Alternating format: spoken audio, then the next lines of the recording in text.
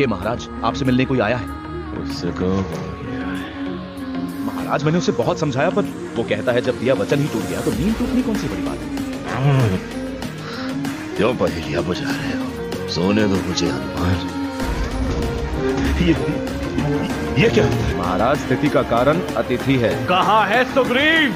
ये शस्त्र नहीं मेरा सवाल है। जिनका जवाब केवल वचन तोड़ने वाला सुग्रीव दे सकता है। ये मेरी अंतिम चेतावनी है सुग्रीव। मेरे प्रश्न का उत्तर दो वरना अपने बाणों से तुम्हारे साम्राज्य को छलनी कर दूँगा। मेरे मित्र। एक धोखेबाज मेरा मित्र नहीं। तुम्हारा क्रोध उचित है लक्ष्मण। बस ये अंतिम अवसर दे दो मुझे। मैं वादा करता हूँ कि अपनी पूरी सेना और शक्ति लगा दूँगा।